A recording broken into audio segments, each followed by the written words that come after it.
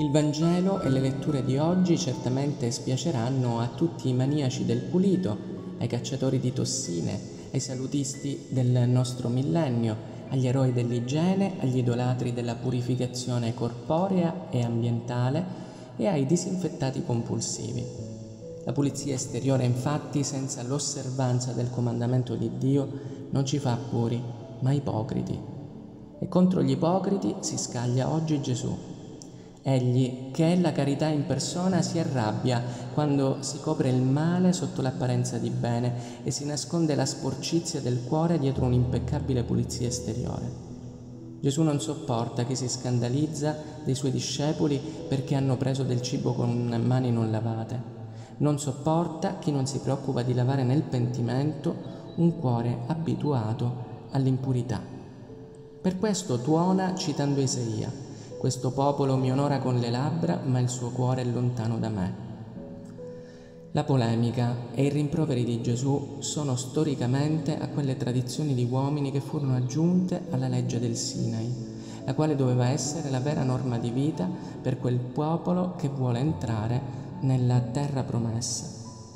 Purtroppo però ieri come oggi i dieci comandamenti si mettono da parte ed emergono allora altri precetti con la pretesa di migliorarci la vita, di liberarci da un problema, di farci vivere più a lungo. Sono in realtà delle coperture della malavita che conduciamo. Gesù sintetizza così il problema. Trascurando il comandamento di Dio, voi osservate la tradizione degli uomini.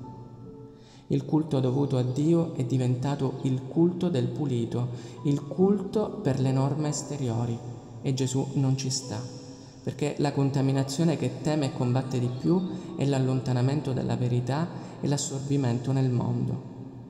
San Giacomo lo dice con queste parole, religione pura e senza macchia davanti a Dio Padre è questa, visitare gli orfani e le vedove nelle sofferenze e non lasciarsi contaminare da questo mondo. Il Salmo ci diceva che chi cammina senza colpa dice la verità che ha nel cuore, mentre il Vangelo manifesta le vere impurità che dispiacciono a Dio e che sono i propositi di male covati nel cuore e provenienti dal cuore. Dice infatti il Signore, dal di dentro infatti, cioè dal cuore degli uomini, escono i propositi di male, impurità, furti, omicidi, adulteri, avidità, malvagità, inganno, dissolutezza, invidia, calunnia, superbia, stoltezza. Tutte queste cose cattive vengono fuori dall'interno e rendono impuro l'uomo. Ognuna di queste impurità del cuore testimonia un allontanamento dalla verità e un assorbimento nelle contaminazioni del mondo. L'allontanamento dalla verità dipende dal fatto che non si prende sul serio la parola di Dio L'assorbimento nel mondo è conseguenza della perdita della libertà dei figli di Dio per diventare schiavi di un idolo. Vediamoli uno per uno i propositi di male o impurità del cuore. Le impurità sono i pensieri e le azioni con cui il piacere venereo si insinua, mi domina e occupa la mente e il corpo. Se le accetto, Rinnego la verità che posso completarmi solo con il sesso opposto al mio e solo in un progetto di vita benedetto da Dio nel matrimonio. Le impurità sono gradite al mondo perché esso sfrutta la fantasia e le persone per gli interessi del momento, senza instaurare legami affettivi. Tutti i corpi nudi delle pubblicità che vediamo in televisione o nelle sfilate di moda di Marco Marco sfruttano proprio questo interesse. I furti sono la negazione della verità sulla proprietà privata e sul senso del limite al mio bisogno. Il mondo li ama perché ha globalizzato e tolto sovranità a ogni proprietà, mentre si è impegnato a creare e moltiplicare i bisogni. Un povero di 70 anni fa avrebbe rubato una salsiccia per sfamarsi. Un povero di oggi ruba il telefonino a un altro povero come lui ma col telefono migliore del suo. Gli omicidi negano due verità, la sacralità della vita e l'umanità da custodire. Parimenti sono contaminazioni del mondo che è propenso a rimuovere tutto ciò che ne ostacola i disegni di potere e successo. L'aborto e l'eutanasia ne sono terrificanti esempi. La vita nascente e la vita non efficiente non meritano cittadinanza in un mondo che ama solo egoisticamente.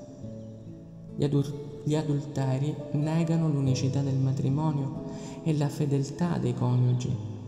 Il mondo li approva perché dove non c'è famiglia stabile c'è la disponibilità a spendere più superficialmente il denaro.